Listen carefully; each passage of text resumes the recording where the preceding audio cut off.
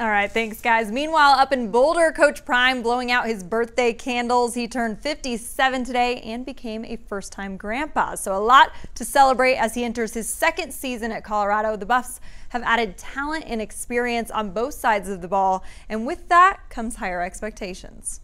Practice is way more competitive than it was last year. And I'm just excited to go out there because I know I feel like the game will be easier than it is in practice.